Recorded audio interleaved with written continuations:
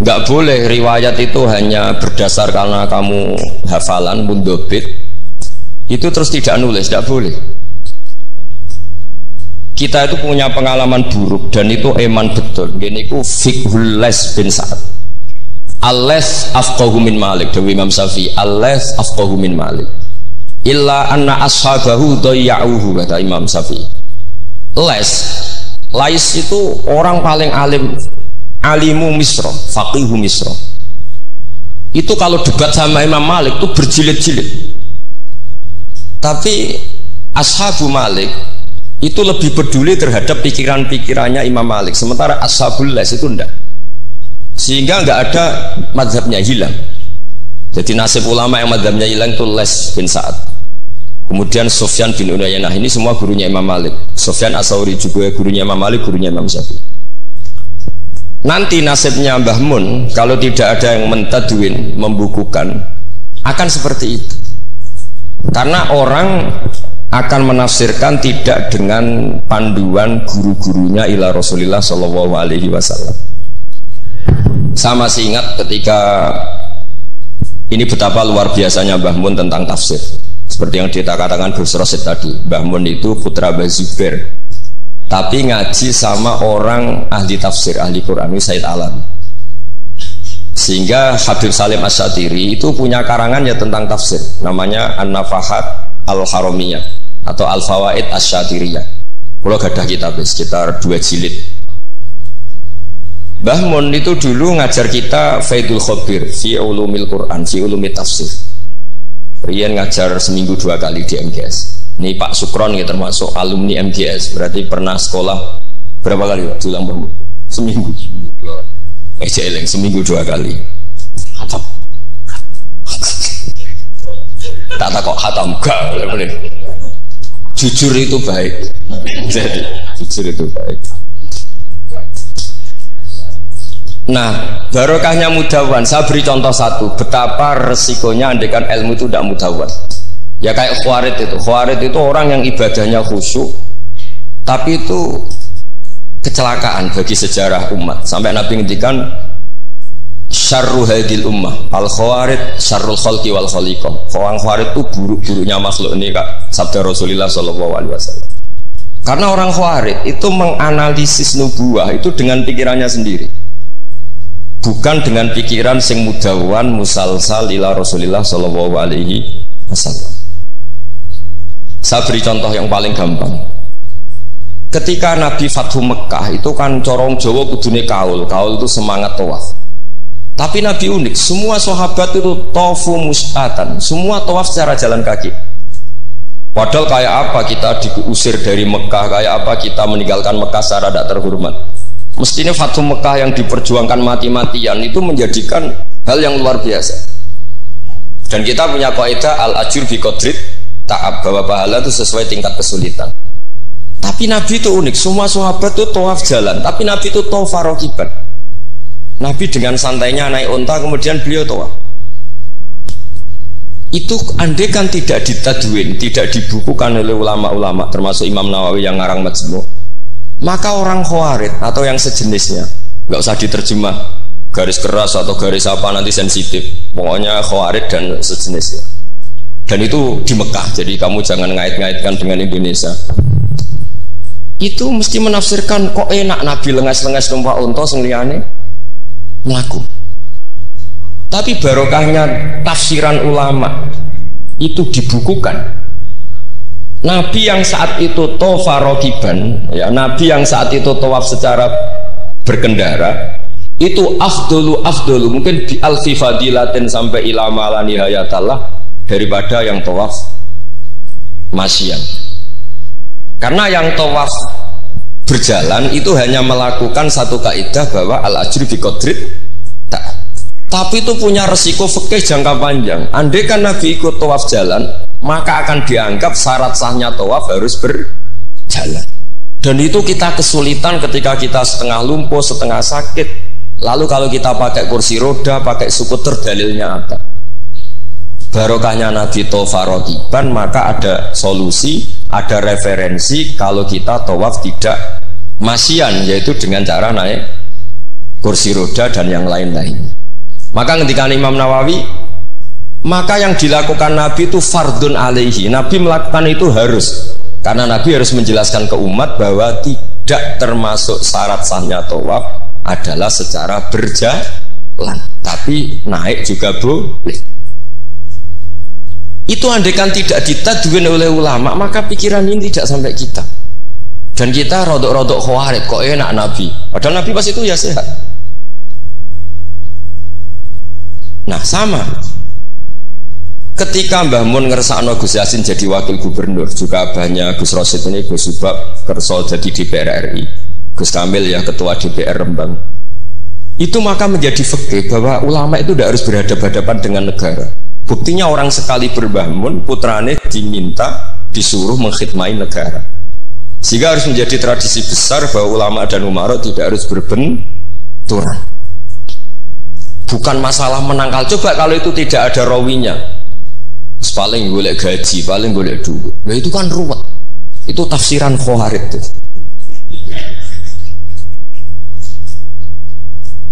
Jadi, loh saya itu punya sanat mutasil. Saya berkali-kali ketemu abahnya Gus Rasid. Beliau juga guru saya, Gus Subab, semuanya.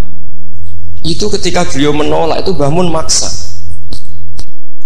Gus Kamil dulu pertama disuruh jadi DPR ya menolak sampai pernah transit di dalam saya di Jogja itu tiga hari dan Mbah Mun akhirnya sampai duko harus mau tapi lama-lama kita tahu bahwa beliau ingin menyelamatkan Indonesia bahwa Indonesia nggak perlu dipertentangkan antara ulama dan umat nah itu harus terus karena kalau kita ingin versi tertentu pasti Indonesia itu chaos chaos itu ya chaos ya guru hara kalau guru hara terjadi safkut dima pengaliran darah yang dosa kita Makanya Mbah Mun sering cerita ke kita. Saya tidak pernah bilang saya ke kita. Semua santrinya levelnya sama karena sama-sama dengar. Bidane lali mbak ini gitu. Ambek paham sama ada tidak paham. Gitu. Sebetulnya saya ingin bilang saya karena saya berkali-kali khasoni bidalika syekhuna. Tapi kita kita semua sama sama-sama mutawatir sama. Fikhus siasa atau fikhul imamah atau fikhul khilafah terserahlah bahasa sampean itu juga harus diwariskan. Sehingga dulu sama tak cerita dulu yang semi-semi khawar itu ya sudah banyak. Wah nabi itu harus ngomong akhirat terus masa nabi jabat oke dari segi jabatan itu duniawi kesannya buruk karena jabatan itu duniawi tapi kalau dibalik atardo ayyaku nasolihu tahta yadidzolim Kue ridho kalau orang-orang yang nggak sholat, gak cewek, gak istinja, mimpin wong soleh. Jadi harus dibalik, harus membolehkan orang soleh yang mimpin orang dolim, jangan dibalik. Wong soleh bokon yang masjid kafe, wiridan kafe, dipimpin wong dolim. Hanya karena kamu mengharamkan politik. Jadi orang itu harus ngerti. Makanya ketika beberapa nabi itu harus kita tahu ada nabi yang ngaji terus kayak Nabi Yahya, Nabi Isa ada yang Nabi yang seumur-umur itu jabat kayak Nabi Dawud, Nabi Sulaiman. Kamu boleh niru Nabi Dawud, Sulaiman jabat, tapi nggak boleh meniru istrinya seribu. Itu empat saja masalah gitu ya.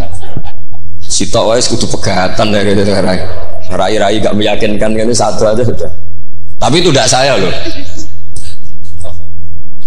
Jadi sampai Allah menurunkan ayat am yahsuduna nasa ala ma atakum wa fadli faqad ataina ala ibrahim alkitaba wal hikmata wa atainahum mulkan azim. Jadi ada orang-orang soleh yang oleh Allah disebut bahwa mereka itu jabat. Gini ku alu Ibrahim. Ada banyaklah orang-orang soleh yang jabat. Mereka adalah orang-orang yang tak kasih kitab, tak kasih hikmah tapi ya wa atainahum mulkan azim ketika Mbah Hasim di putra Gus Wahid jabat dulu Mbah Wahab Hasbuwah dia anak Gus Wahib juga jabat. Mbah Mun punya putra Gus Bab abahnya Gus Rosid dulu ya di PRRI Gus Yasin wakil gubernur. Ini kita sebagai muridnya Mbah Mun bukan melihat urusan jabatan. Urusan bahwa kita ikut berbakti sama negara. Negara.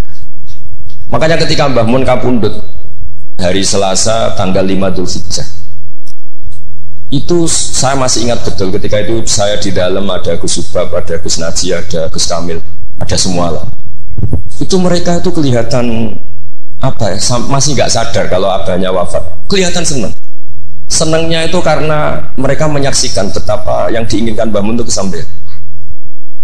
Beliau-beliau ini cerita, Mbah Mun itu cerita gini, Cung, aku nak mati Jumat berarti aku wali. Nak mati Selasa aku ya wong alim. Jadi berarti beliau itu milih jadi orang alim. Jadi dia relax. Terus ada beberapa apa ya uang lah atau apalah. Kata beliau sama Gus Subab bilang ke Gus Subab, bab ya aku nak teko no, nak teko bagi dengan anak-anak. Jadi semua dipersiapkan. Begitu mudah beliau melihat kematian, melihat kabundut, melihat seringan itu. Karena kerinduan seorang wali atau orang soleh kepada Allah itu rindu sekali. Dan ini kita harus punya riwayat dan itu menjadi fikih besar. Gak boleh kamu pakai fikih khawarid. Kiai kok jabat, kiai kok kedunyan. Misalnya ono kiai wong soleh ora oleh kedunyan, terus lagi wong solat buruwe wong rasolat, kue rido. Wong solat buruwe wong ora solat. Mergo sing solat kok kon melarat. Jadi nak fakih ujuk fakih khawarid. Fakih sing bener maca majmu. Nak ra iso maca jerone maca judule. ya sadar.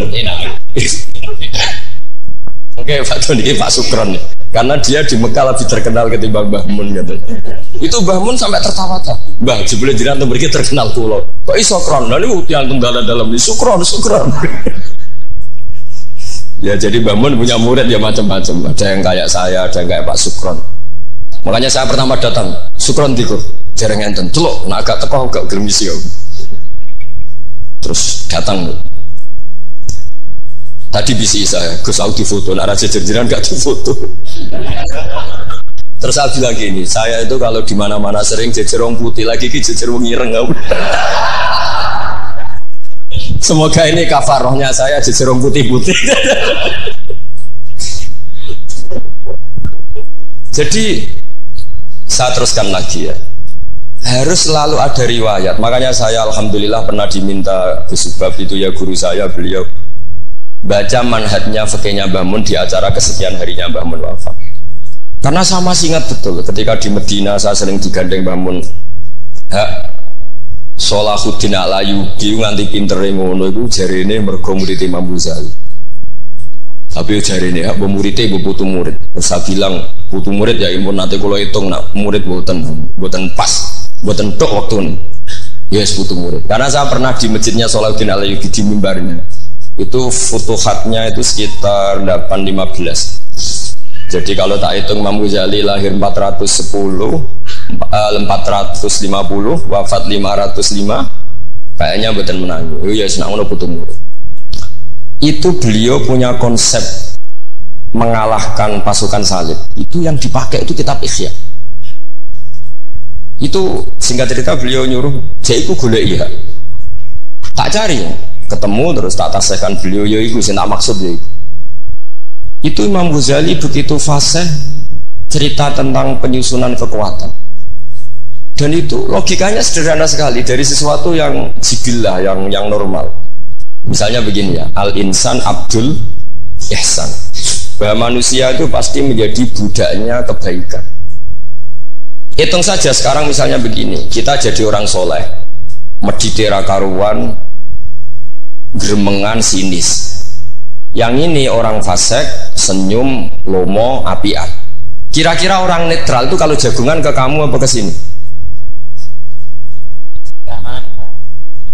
Yang lomo, yang nyaman kan? Sehingga orang boleh mengatakan ketika ngarang fikih senyum itu sunat di karangan fikih. Tapi di aplikasi nyata tidak bisa. Bagaimana kalau ada orang netral bisa soleh bisa fasek, sing fasek senyum, sing soleh merengut sehingga yamilu orang yang netral ini ke yang fasik kamu bisa ngarang fikih kalau sodako itu sunat karena itu sudah tidak wajib karena yang wajib itu zakat kamu bisa ngarang fikih seperti itu tapi kalau dalam tadbiki tidak bisa misalnya saya orang soleh hidup di tengah kota atau orang soleh hidup di pedalaman terus saya medit mentang-mentang sudah zakat nggak pernah sudah Sing wong fasek jor-joran sering nyervis rokok gratis, ngopi gratis. Kira-kira ke mana kecenderungan orang? ke yang fase karena al besan Abdul. Nah hal-hal seperti ini tuh yang dikaji Imam Ghazali kemudian itu menjadi inspirasi Salahuddin al Kalau dia ingin solid maka harus berbuat baik sama siapa saja. Karena itu cara punya kekuatan. Nah kita enggak, kita ini memaksakan kebenaran tapi prosesnya tidak simpati. Makanya kata para mufassir, walaupun tafadzur ghalidal qalbi lan faddu min khaliq. Itu kata para mufassir, hada sayyidul khalqi wa hada ahabbul khalqi ilallah. Ini Rasulullah, orang paling dicintai Allah. Itu saja sekali salah dalam perilaku sosial, itu bayangannya lan faddu min. Orang akan bubar. Padahal ma'anna hada mu'ayyadun fi ruhil kudus. Padahal Rasulullah itu orang yang diberi kekuatan kekuatan malakut, kekuatan langit. Itu saja dibayangkan kalau salah secara sosial lan faddu min Orang akan bubar. Apalagi kamu yang keramatnya nggak jelas, sisi gak mandi, terus salah sosial istaqobal wa minna minkum taqabbal ya kan sehingga Mbah Mun itu baik sama siapa saja termasuk baik sama Megawati sama apa saja Bahkan beliau sebelum haji sempat ketemu Megawati. Dan beliau sebelum itu ya pernah bilang ke saya, ke kita lah, ke kita. Aku ketemu Bu Mega dan Indonesia itu damai. Makanya ketika beliau kabundut Dul Hijjah, itu min asyuril hurum.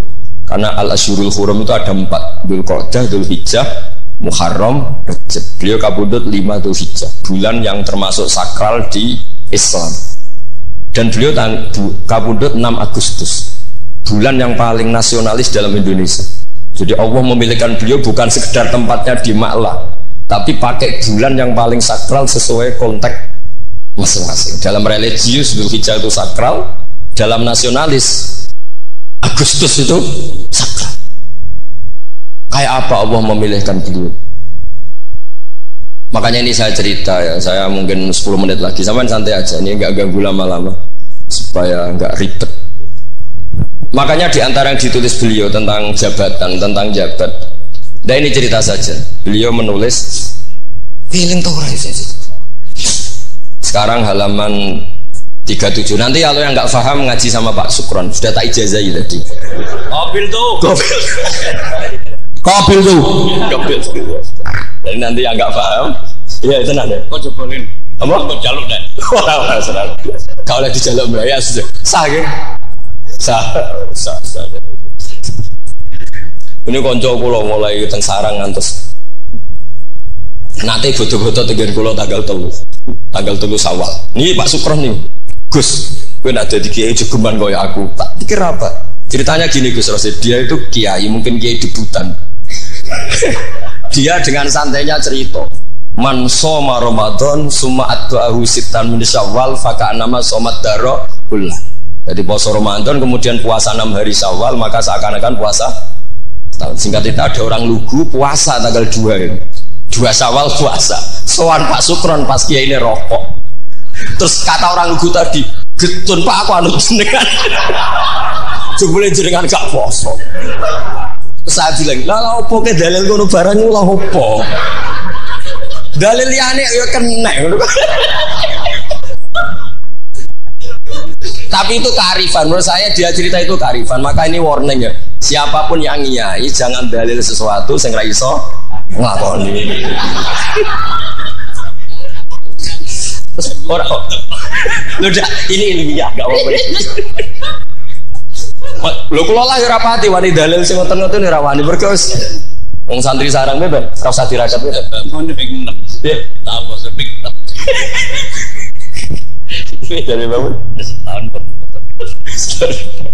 Memang ini ini didian sarang yang keterusan. Mbah Mun itu kan mengharamkan santri tirakat. Iya. Ya santri rasa tirakat.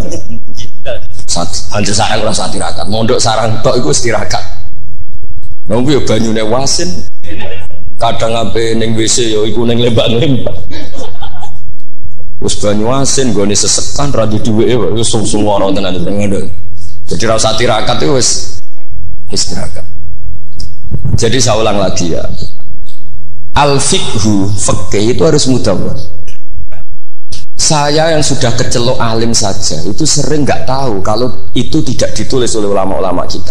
Kayak tadi, kenapa Nabi Tofa Rokiban? Padahal Nabi juga yang mengajari al-ajrub kodrit ta'ab.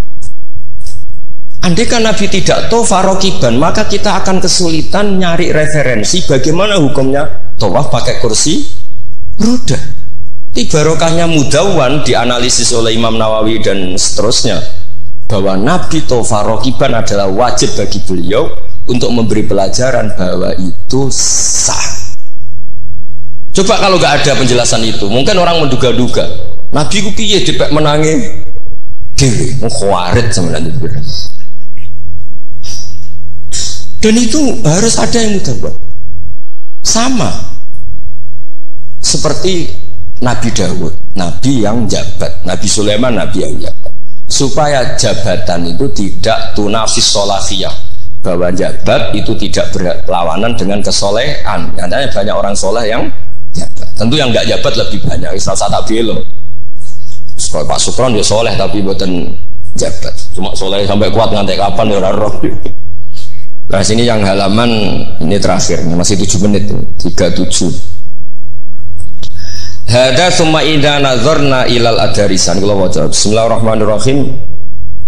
Wal mamlakatani al ukhroyani allatani mazalata qaimataini ilal yaum Ani al mamlakatal hasimiyah al urduniyah wa mamlakatal maghrib. Tawallahuma al hasaniyuna aidan. Artinya Mbah Mun cerita bahwa banyak orang-orang soleh bahkan min di Rasulullah Shallallahu Alaihi Wasallam dan mereka jabat jadi raja yaitu pasnya di Maroko adalah rajanya Al Hasani apa?